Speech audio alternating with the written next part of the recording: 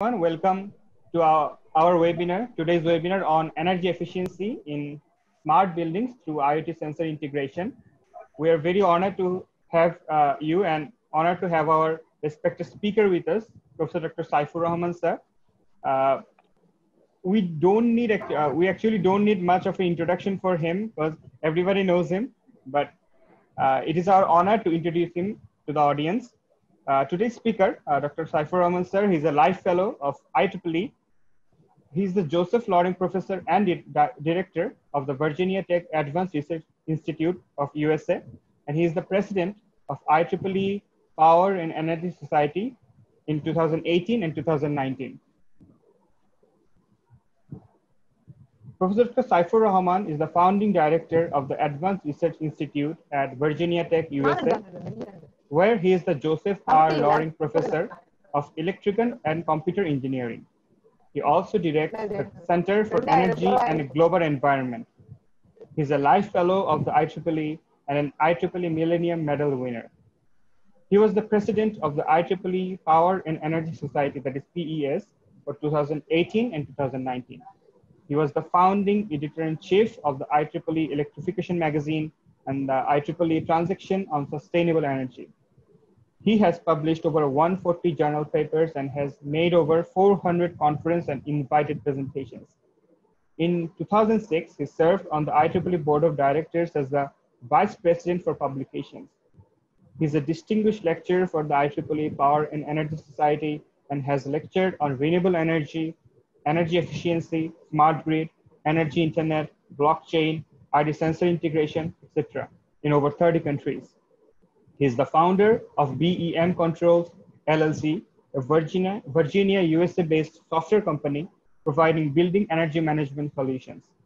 He served as the chair of the US National Science Foundation Advisory Committee for International Science and Engineering from 2010 to 2013. He has conducted several energy efficiency, blockchain, and sensor integration projects for Duke Energy, Tokyo Electric Power Company, the US National Science Foundation, the US Department of Defense, the US Department of Energy, and the state of Virginia. He has a PhD in electrical engineering from Virginia Tech. We are very pleased and honored to have you, sir. And uh, I'd like to take a moment to introduce uh, today's moderator of the session, Dr. Shaikh Fattah, sir. Uh, he's a professor at the Department of EEE BUET He's the chair of the Education Committee, IEEE Humanitarian Activity Committee. He's the chair of IEEE SSIT Bangladesh chapter, and he's the advisor of IEEE PES BUET SB chapter. So thank you, sir. Uh, with your permission, uh, uh, I ask you to start the webinar. Thank you, sir. Thank you. Let, let me go to my screen. Hold on a second. Yes, sir.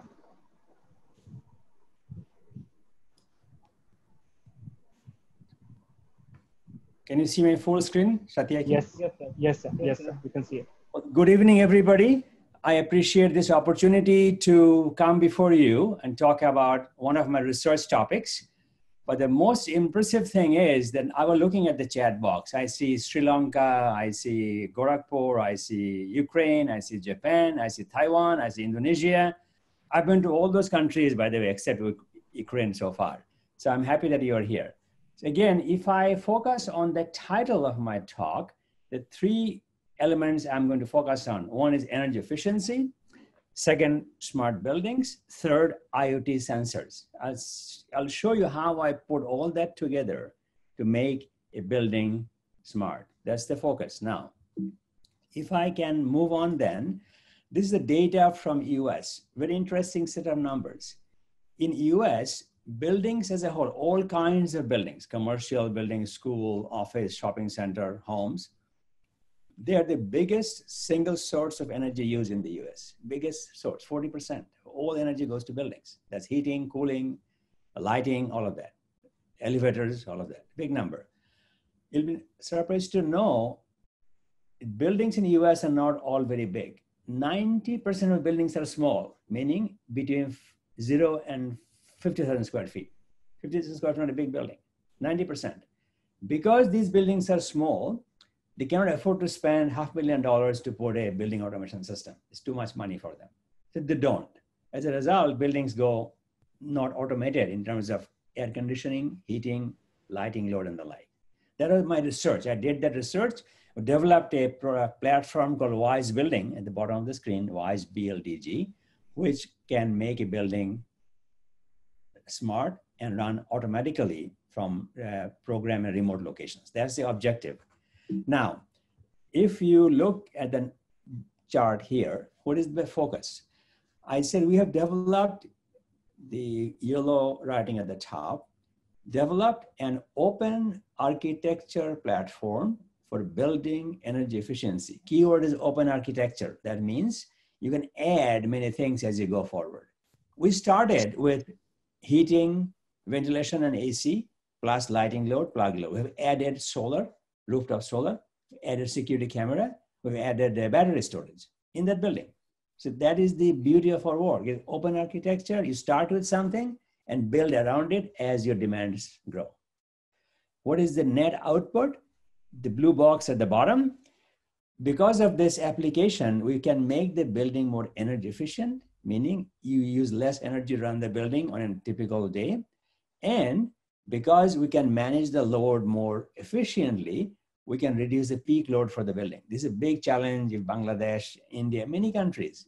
Peak is very expensive to manage, but if we can reduce the peak, I'll give an example in a few minutes. If you reduce the peak, we do not put extra stress on the power system. So that's the idea. And how we did that, if you look at the orange color box on the upper left, we have put IoT enabled equipment in these buildings. What is an IoT enabled equipment. You all know about thermostats, air conditioning, thermostat on the wall that looks at the building room temperature and set point. Based on that, it decides to or not to, uh, to or not to turn on the AC and how long the AC should run. That's an IoT device because it is a device which is smart thermostat on the internet and it's telling you the status and you can send control signals, fan on, heating on, cooling on, uh, duration of the, how long the heating goes on, all of that is done through the thermostat. That's an example. Okay, now, this is my lab. I took one floor in this building, that is a building on the left, and put these IoT devices in that building on that floor what are the devices I put in? Again, it's a test case. Not typically you would not put all of them in a, in a building, but depending on what your application is, you'll put some of them. So on the upper left-hand side, I'm showing different kinds of thermostats. Interestingly, if you have to be watching not only that hardware, how does it run? What is the protocol? Some Wi-Fi thermostat, some Zigbee thermostat, something like this, thermostats. Then I have, if you follow it from the upper left-hand side, go counterclockwise. Then VAV controller, variable aperture volume controller for airflow, for air conditioning. Number one. Number two, rooftop unit RTU. Again, see the Modbus, another protocol. I have Philip Hue lighting light bulbs, Wi-Fi, light switch, lighting load controller, uh, dim ballast, smart plug, different kinds, uh, building plug load controller again, occupancy sensor, light sensor, smart power meters. We put all of that to test how we can save energy and run the building with less peak power. The box in the middle, the kind of grayish white color plastic box, this box contains a Raspberry Pi, as simple as that. That Raspberry Pi has enough memory and CPU capacity to monitor data from these devices and based on the algorithm, what it wants to do, sends control signals. That's how we started. Now, before I go too far, let me show you this page, very important. As I said here, BACnet, Modbus, Wi-Fi, Zigbee, different kinds of uh, protocols. We are a university. We do not make any hardware. So we have no choice about the protocol. So we just buying what we get. Our biggest challenge for the research was this. I'm getting different technologies for communicating, Ethernet, serial, Zigbee, Wi-Fi, data exchange protocols. I have, for example, BACnet, Modbus, Web, smart energy profile, open ADR, all that is my reality. Our main contribution was we were able to build translators. We don't care what language we speak from the hardware side. We will translate that to literally Wi-Fi in our case. And then this box, these, the Raspberry Pi, receives Wi-Fi signals. That's the focus of our research. That's how we are able to very open in the sense of we don't need to watch out that I can only accept Zigbee device or Wi-Fi device. Doesn't matter. You can give me any device. If I know the API for the device, I can control it. That's the idea. Good. Now, there was one building, one floor. Now, typical like BUET campus, many buildings. So we decided that rather than put a per floor, put one Raspberry Pi, we go to the cloud now. Because it is very common these days to have internet in the building, very common all over the world, literally. So we said, fine, why worry about in the building device, which can break down, can be, uh, can be taken out of service. So we just, we just forgot that. Now, everything we do, we can still do Raspberry Pi, but we prefer to put things in the cloud. That way we can avoid one point of failure. Raspberry Pi or a microcomputer can fail anytime, then you are stuck. Sometimes you use to port a backup computer also. Those are possibilities. Anyway, what happens here, a university campus, many buildings, each building has an account in the cloud, in this our case, AWS, uh, Amazon uh, Web Services cloud. Each building has an account. So that building is managed from that account. When manage means that account queries the building every few minutes, looks at the current status of voltage, power, and many other things, and sends a control signal. Fine. Now, in any campus, there will be a central control office which will look at the status of every building, their heating, cooling, ventilation, temperature setting, all of that. That's why I have, if you follow the cloud picture in the middle of this page, on the upper side, I have a central controller which is talking to all these boxes. Each box manages a building. That's the setup. In addition, on the upper left-hand side, I have a, this purple box, which is showing that we are also connected to the power company's data because we need to know whether, if and whether the power pricing is changing. It happens in the US. Peak hour price changes. That information comes in to the central controller. The control box is all pre-programmed. Based on the price signal, they can control the AC temperature setting, ventilation and the like. Then other thing I'm showing here on the lower right-hand side, what equipment we are controlling and monitoring from this platform. Heating and air conditioning, we know that, lighting loads, plug loads, sensors and power meters, water meters, rooftop PVN storage, and security camera. This is the point. I started with building automation, heating, cooling, lighting. That's it. I've added uh, water meter, uh, power meters, rooftop solar, storage battery. The point is because I have an open architecture platform, I can add things as needed. This is the beauty of this work that nobody has done that I know of. Okay, now, because of this availability of flexible options, I can claim our platform, called Wise Building Platform, can make any old building smart. The reason is when you build a smart building, you provide the SCADA communication wiring required to sense information from all corners of the building and take some control action. This is normally done. But since buildings are old, in our case, in the US, 90% or more buildings are more than 10 years old, more than 90%, 10 years old. So what do you do? I said, no, we don't give up. We go there, as you saw in our system, our systems are all wireless devices. I just go in there, replace an existing wired thermostat using a wireless thermostat. That's all I did. That way, we don't need to do any wiring, any, any um, breaking the wall, putting conduit. None of that is necessary. Let's look at some examples. before I go to the building data, let me show you the value of our work. Typically, if the data we have collected, we can save the building 20% of electrical demand, 20% energy, 20% by controlling and scheduling. I'll give you an example of how we control and schedule. 20% for heating and cooling applications.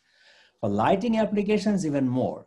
The reason is in the US, lights are left on most of the time, even on weekends. So if you do scheduling, we can do 25% or better in terms of energy savings. Good. Now the question is, what are the added benefits of this monitoring protocol? Benefit is, since we are monitoring voltage, current, power in almost real time, we can, in our case, we monitor every 10, 15 seconds, we monitor this information. Then if you have a rooftop air conditioner, it is drawing more current than normal. What could be the reason for that situation? Maybe the bearing is getting tight. Bearing gets tight, motor draws more current. Or bearing has some dirt. If it's dirt, it is more friction, drawing more current. That is an early indication of something not right. So what we do if watch this, we tell the building engineer, this rooftop unit on building number 13 has been drawing more current for the last few hours. That gives him a warning, something is not right. He comes in, goes roof and see what's going on, fix it. If he did not do that, if this thing ran for multiple days and got worse every day, after a few days, it'll just fail. The shaft will break, motor will be destroyed. That happens. Then what happens? He or she has to go in and order new parts, new motor, new uh, bearing. That may take a week in the US, maybe more in Bangladesh, take a week. So for that whole week, you have no air conditioning. That is the benefit of our work. Since we give you early warning of the status change, you can take early action. That's one. Second is our focus, my focus is not only energy savings, I want to make the building more healthy, more better air quality. So if you work in that building, you are not getting sick by being in that building or getting tired at the end of the day. What we have done, we monitored the CO2 level, PM 2.5, India is a big issue, PM 2.5. China also have seen that. We can monitor dust level, we can monitor humidity and make the building more health, healthy. Good. Now, some examples of buildings we'll show you in the next few slides.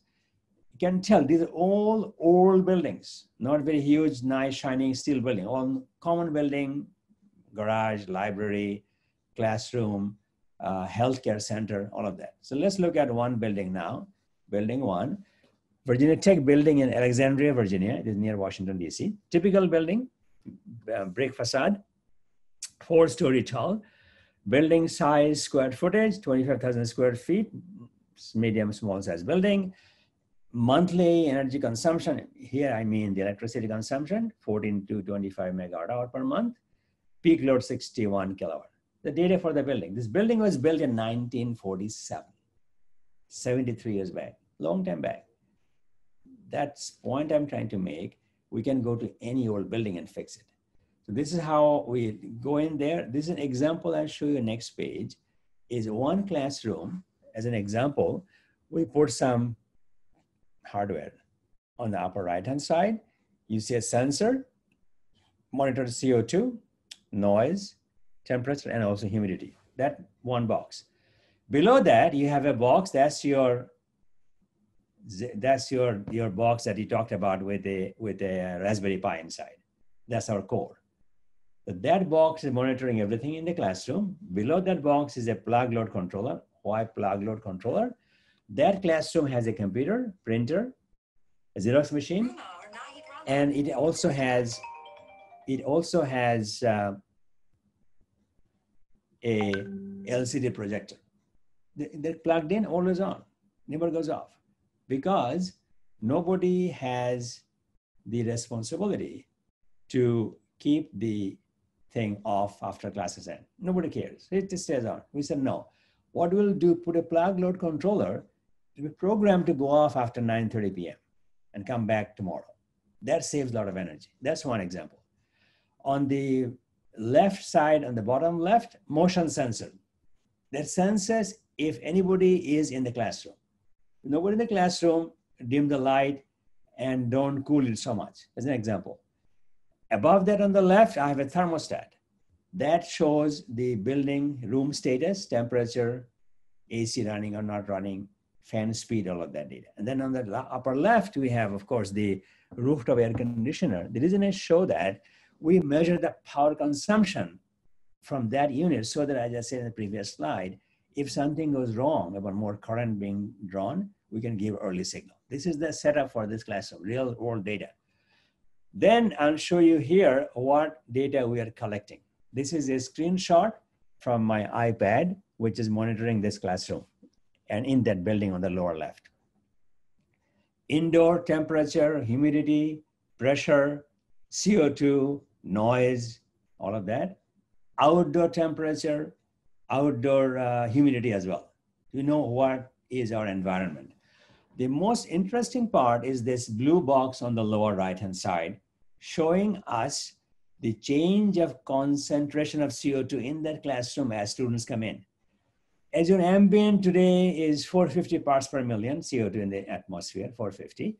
So it was about 500 in the morning, slowly goes up as people become active in the, in the space. By five o'clock, six o'clock, slowly begins to grow. By 7 p.m. grows faster because class starts at 6.30. This is the classroom, right? This is the room. It's all in, no windows, all enclosed. You go there, you breathe, CO2 level goes up as you see here. And the class goes on by 9.30 or so that evening, it has reached 1,100 parts per million. Then class ends at 9.30, people go home and slowly it decreases to ambient 450 by midnight. Let's look at that number, 1,100 parts per million. The healthcare data shows if you're in a classroom or environment where the CO2 level is over 750 parts per million, you feel dizzy, lack of energy, feel uncomfortable. That's what happens in many cases.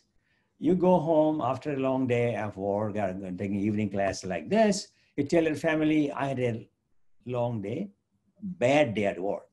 That's why I'm feeling lack of energy and not feeling like doing anything good. It's not bad day at work. It's too much CO2. You didn't know that. So how we solve this problem? We said, fine, as we watch this CO2 concentration, when that concentration exceeds 700 parts per million, we'll throw more fresh air from the ceiling in this classroom. No windows, by the way. As you throw more fresh air, the CO2 dilutes and you are back in a comfortable, healthy situation. That's how you solve this problem. This is not building automation. No building automation does this. Nobody does this. Some automation systems today monitors this, but nobody controls it. This is our contribution. We can do monitoring, of course, and control, give you solutions. Good. Now, let's see, that was the CO2 issue. Now the energy issue on this slide. I'm showing you some data. If you look on the upper side of the screen on the left side, this building, we put six thermostats, all wireless thermostats. I put six power meters. I have to know what's the value of my work. So I'm measuring power before and after. One lithium ion battery for storage and one sensor for CO2, humidity, noise, and the like. That's the hardware in the building. Then I said, before I deploy my solution, I need to know what's happening as a reference point. So for three months in 2014, we measured the consumption for that floor, power consumption. So you see for three months, the consumption was 8,340 kilowatt hour. Three months, fine, no problem. Then we said, fine, we'll wait. And we deployed the solution, went back, measured for the same three months, we saw 6,000 plus kilowatt hour. That means we got a 27% savings of energy by deploying our solution. So we can come back later on, what was the cost, what is the value. So anyway, this is the stuff we put in. Good. Now let's focus on the screen, the middle part of the page.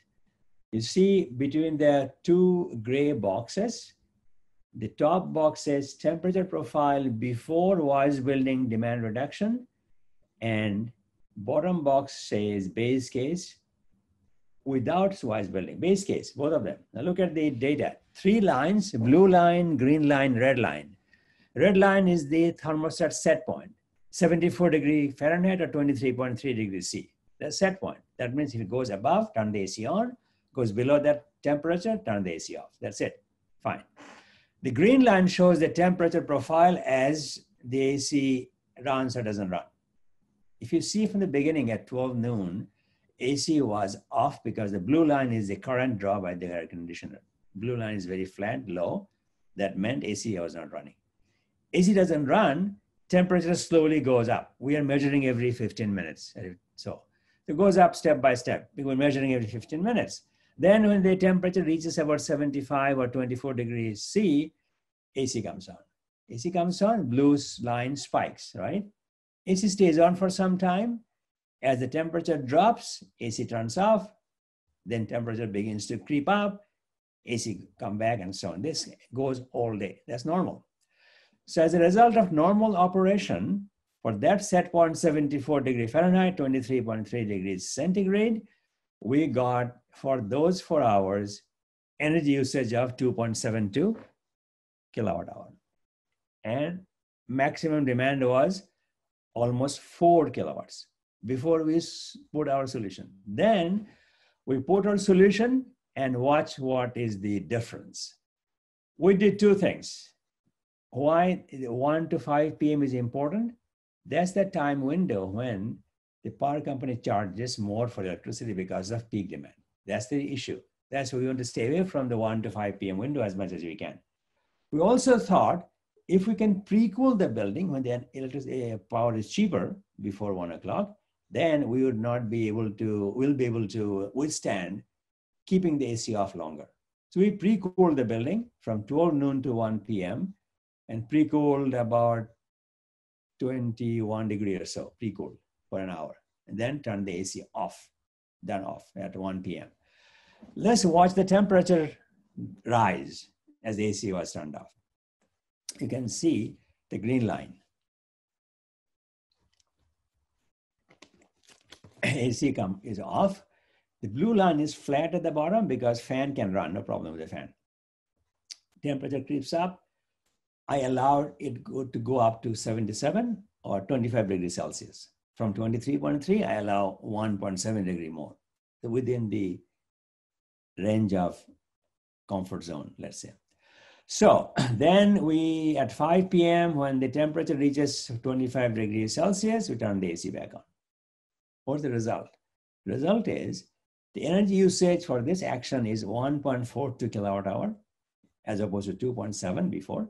The peak demand was almost four before, now it's only 0.5.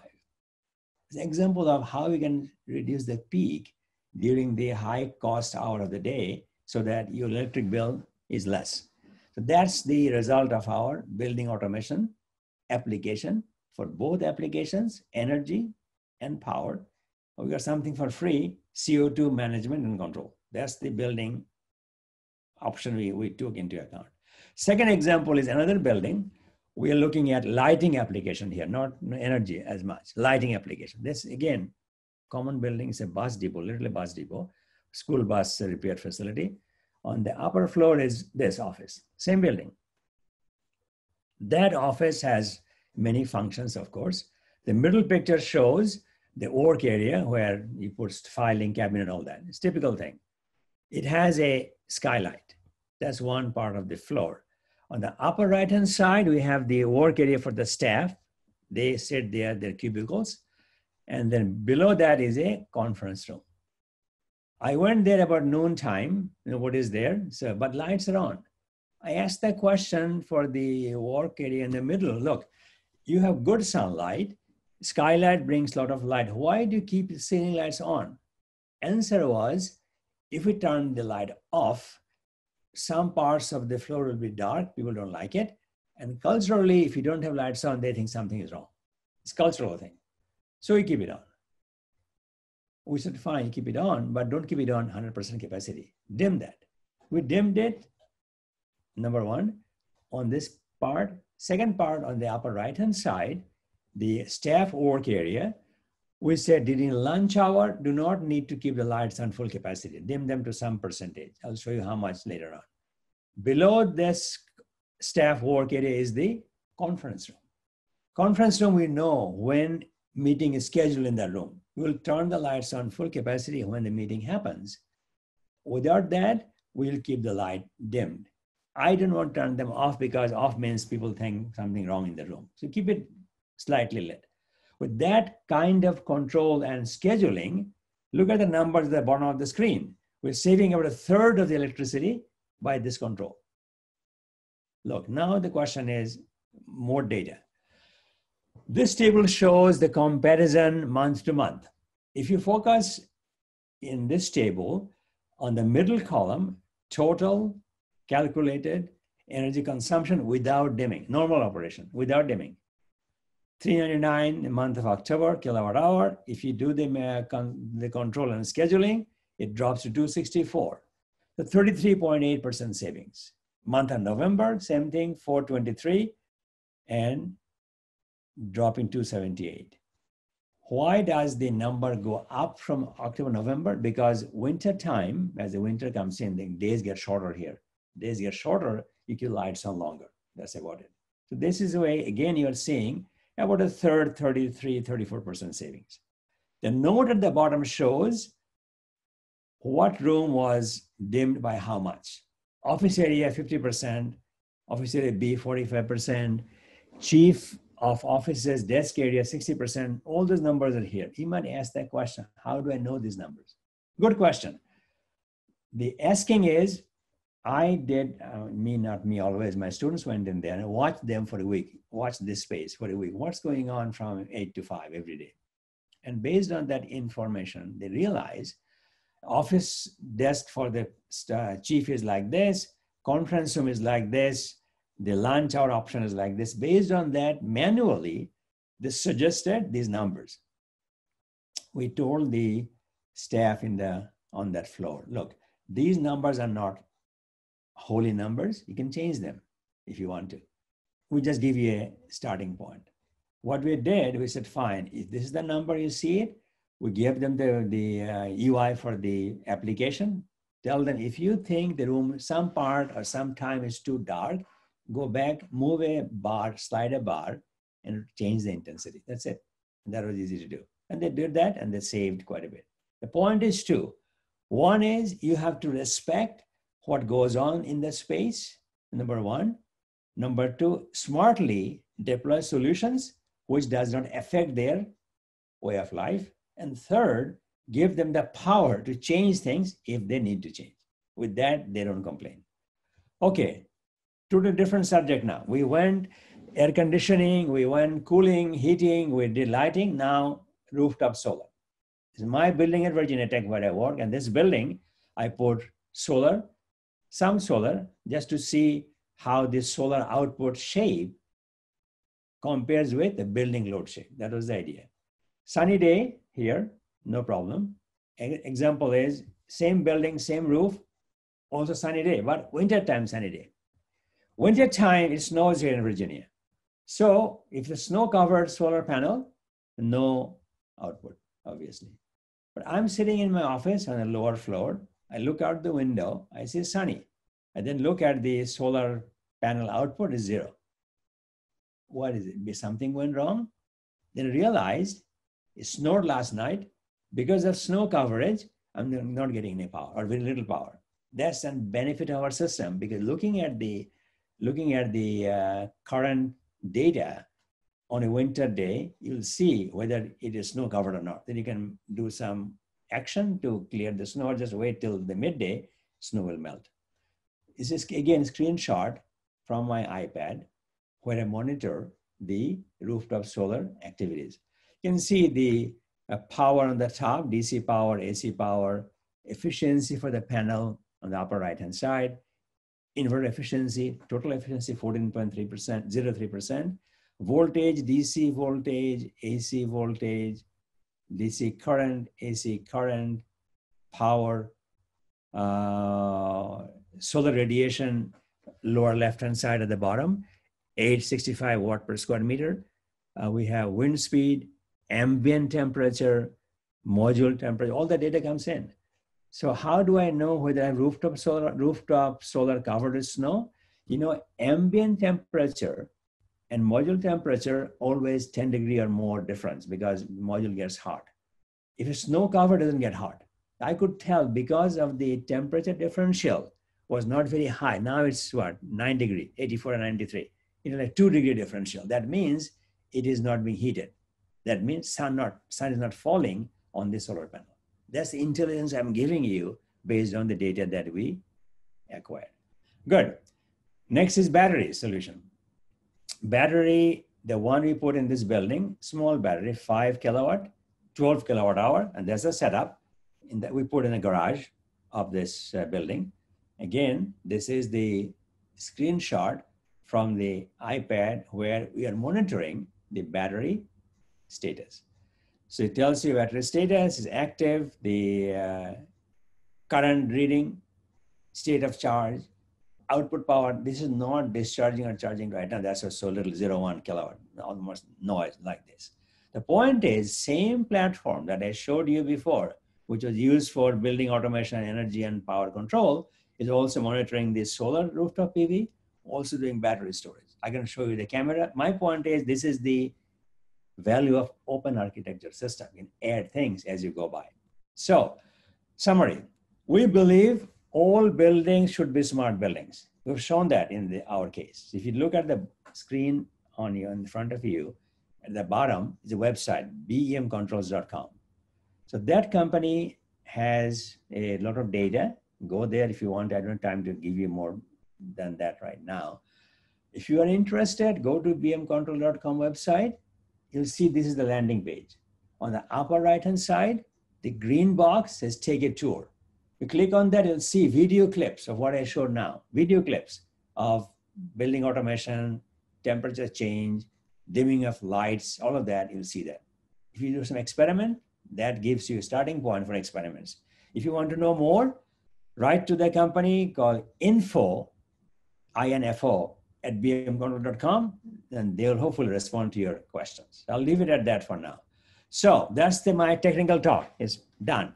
Let me take a minute or two to share with you how I see IEEE growing and how much more it can do for all of us. Good. So we are here, well, you are there all over the world. I'm in the US, and we're doing this seminar quite effectively. You can ask questions. So we've learned how to collaborate, cooperate, and serve as a community. Even Bangladesh, Nepal, Sri Lanka, India, Japan, Indonesia, Ukraine, all of that. Very nice. This happening.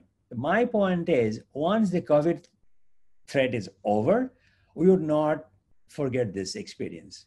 We'll keep on as much as possible using the internet, using the video connection to keep working. My appeal to you, the young generation, please don't forget that.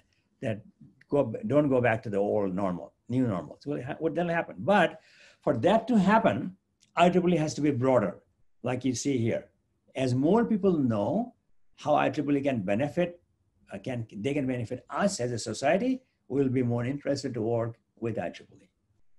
That means we need more volunteer participation globally, like you do very nicely today, in how IEEE is run. Not governance from the board level. Board is at the top. You have board level, you have society committees, you have society governing board, like PES, like uh, Fattah is a member of the governing board, for example, PES. You have local sections, like in Bangladesh, like I said, Gorakhpur and all that. Let's keep talking among each other. If I become president of IEEE, I would be focusing on that. Communication at all levels and grow together. So finally, one more thing I should point out here. I visit many countries. When I give a talk, come down from the stage, talk to the audience, I see many business cards, especially industry friends. I don't see many senior members. And I've seen the numbers also, like India, Bangladesh, uh, Nepal, of course, uh, many other countries. The number of senior members per capita membership uh, base is much smaller than US and Canada, much smaller. Why is that? Because people don't feel motivated to apply to become senior members. I've talked to people, there's two issues. One is you go to apply, go online and fix things. and you need the names of three referees who are themselves senior members or better, who can write a letter for you supporting your application. They don't know three senior members. Where do they go? They don't go anywhere. Just forget about it. I said, no. What I have done for PES, I've told many PES chapters, please publish the names of all IEEE senior members and fellows on your website, section website for that matter. Then a young engineer from PDB in Bangladesh, let's say, want to apply for senior membership. He or she goes to that list and see who are the existing senior members. He may know somebody there already, or she may have her boss know somebody. That way, that you break that ice. That whom should I ask? That helps you to be more empowered and be a strong candidate to become a senior member. I would very much like more people like Region 10 or Region 8, Region 9 take advantage of this and do that. If I become president of IEEE, I will make sure this becomes a standard policy, not by request. So keep it at that for now. Final slide. Again, I'm running for IEEE president. The reason I show this slide is not for that. The reason is I'm giving you here my email address. I know after I finish talking now, there will be questions about many issues. I'll answer some, but time will run out. Typically, this happens. We have some questions unanswered. If you did not get a good answer for your question, please write to me and I'll give you a written answer via email. Again, finally, I see my website is there, srahman.org. All the talks I've given last two months are published on my website. If you want to know more, go there. Some has video clip even, some all of it have PDF, some video clips. Again, for young generation, I'm on Facebook, LinkedIn, Twitter, and also YouTube. You can find me there as well. So I'm easily discoverable and don't mind getting questions from you. That's my last slide. So I'm going to stop sharing now, get back to Fattah to run the Q&A. I don't know who, who will run the Q&A, but I'm going to stop here for you to take over. So thank you very much for your patient hearing. Okay, thank you. Thank you very much. I'm looking at the chat box. The first one I see is a question about what are the qualifications required to become a senior member? Very good question. First of all, you have to have five years of experience beyond the bachelor degree, five years experience after bachelor degree. If you have a PhD, that counts for three years. You need two more years. If you're assistant professor, you're pretty much done. That's the criteria, nothing else. Then you go online to apply and you have a box of questions. You fill the box and very detailed. Then you name three individuals who are senior members or fellows themselves.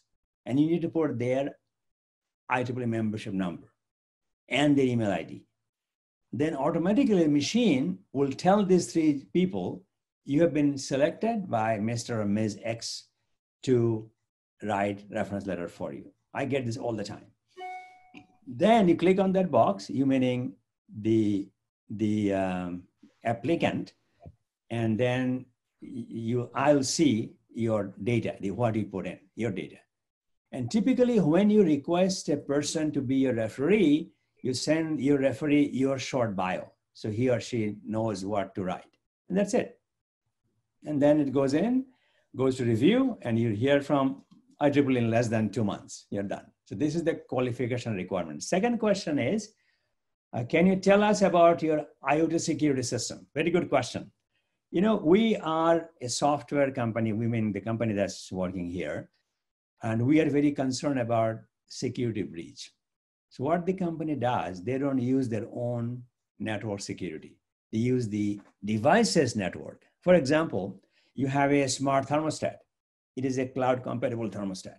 That means the company who made the thermostat has a back channel to get data from your thermostat to their cloud. It's, already done, secure communication. So what this company, the Wise Building does, it gets permission from you, the owner of the thermostat, to contact the cloud library of the provider's software. So they're talking to the cloud, not the thermostat directly, to the, their cloud. That means if something goes wrong along the way, it is protected by the company's data security system, not the IoT that device we produced. That's how we solve this problem. We're lo looking at the cloud access point for the company using the credentials you have used as your as the as the building owner to do this. That's the solution to that issue. Then the question is, uh, I said, Laura, thank you. Hold on a second. Um, yeah. Is there any privacy issues involved with smart building concept? If there is any, how do you manage to tackle these issues? Again, the privacy issue is there. That's why I said, if you remember this picture I showed you, campus picture, many buildings, then the building manager for the campus can see every building. That's true. If it is a community of homes, they can see that. So you must trust somebody because you have to make sure your building manager is not watching what you do every, watching not with the eyes, with the electrical demand, what goes on. So that privacy issue has to be settled somehow. Otherwise, you don't have somebody watching over your power consumption. Again, as I said in my talk, I focus more on commercial buildings, not residential buildings. The reason is this privacy issue. If residential building, I have in my house, same system, but I'm the manager. So I, nobody else looks at it. I look at it. But I am an engineer. I have built it. I don't. I, I can feel comfortable. You are not an engineer in many cases. What do you do? either give that option to somebody to manage it for you or you manage it directly with the provider. That's my answer. Second question is, uh, somebody said, please send me your PPT on my email ID. I gave my PDF file yesterday to uh, Satyaki. So you can publish it if you like. I have no problem with that. And then they can download from your website. That way you can make them visit your website also. No problem. Thank you, sir. Uh, Another question is, sir, about uh, how the demand would come down in your system. Uh, right. It's telling almost one fourth of what it was. Correct, correct. I say about 25% or so, you're right. Right. So I, these are numbers that is not I mean, this the, measurement, not just made it measure, measure data for my buildings. So that's, and you can do better if you are more restrictive in terms of when you will start the building lighting. Maybe you start at 7.30. We start 6.30 in this case. You start a little bit later and come back, uh, finish quicker than 9.30 p.m., like in my case, you can do better. So that's, that's good. I see a very interesting data from somebody, uh, I mean, Satyaki did that. You have like India, Odisha, Assam, Karnataka, Gorakhpur, Kerala, UP, Haryana, Bangalore, West Bengal, Hyderabad, then Indonesia, Brazil, Mexico, Ukraine, Taiwan, Nepal, Uruguay, Lebanon, Bhutan, Sri Lanka, China, Pakistan, Japan, Philippines. Very impressive. So you should put that on your website to see how good it was. And then people want to see my talk, go ahead. You will be able to uh, share with them. I, you're recording this talk, I noticed that. I have no problem if you publish the recording as well. Publish it. So then they can hear your voice in addition to mine and Celia's voice as well. And of course, Shaikh Fattah. Thank you, sir. Uh, one said, one, one thing, a question here from. They ask one question uh, like communication between IoT devices. So in your slides, you have mentioned about the communication uh, between IoT devices.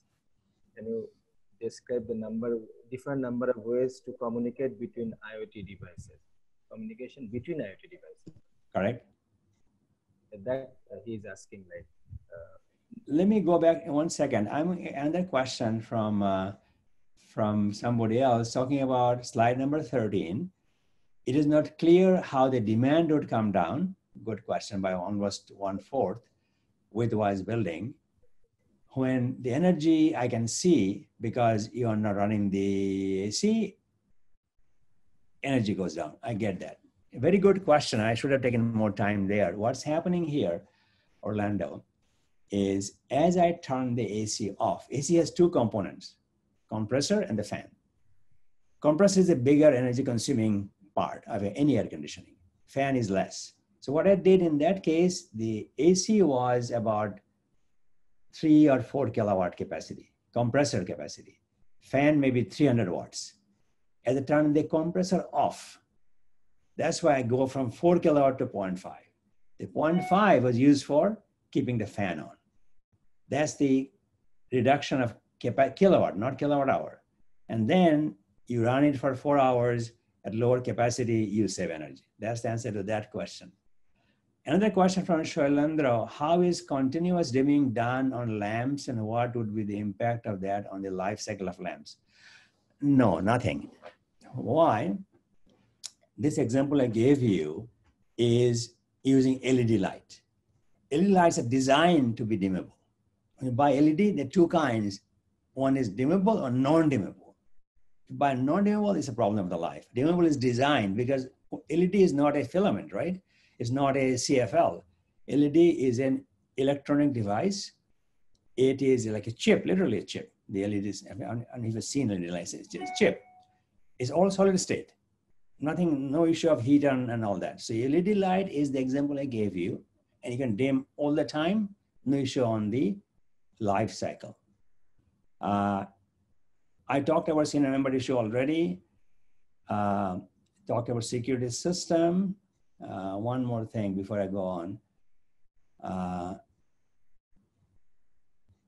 okay, can you tell us more about Modbus communication system? Uh, good. Modbus is widely used for building automation today. Is wired system, Modbus. So what we did, if I have a Modbus meter, I put a converter. The Modbus signal, which is analog, converts to IP, then becomes Wi-Fi. That's why when I see the my box, which is Raspberry Pi, it sees Wi-Fi coming out of a Modbus device because I put a converter in between. That's what I managed to do. Uh, second is last question, I think, uh, Jesus uh, Guzman. Is an open platform or any resource that you can recommend for teaching IoT courses, especially for online teaching as recently required? Depends on what you are teaching. Uh, if you go to the internet, I mean, Google, let's say, and put in a word, say, online teaching of something. Now, I did for my grandkids' school, show them how does a solar panel work. So I got that from some other source online that how in common language we can explain how solar panel works. So that's that's how I'll do that. So that's the last question. Hold on, hold on, hold on a second. Just another uh, about reliability. Reliability issues. Good question. I have been doing this for more than five years now. Typically, a thermostat lasts for 10 years at least, 10 years thermostat life, typically, even the warranty for one year. Other devices like smart plug, smart switch have used, they have not failed yet. So I'm assuming they are okay. But I would suggest anything can fail if you go to a building, especially in a remote area, I would suggest you keep some of the extra device with the building engineer. Make two extra plugs, cost you maybe 30 for plugs, no problem. Thermostat more expensive, but they'll last a long time. So I wouldn't worry about, I know people that in remote areas get concerned if thing breaks down, what I do. So if, when we do deployment, like we've done in other countries, China, we keep one extra thermostat, one extra uh, plug load controller there as part of the contract. So uh, video recording will be available, I guess. Uh, Sri Lanka, I'll talk to Sri Lanka people on Thursday, two days from now. So you can look more there. And uh, that's it. I don't know if you have any other questions, uh, Fattah.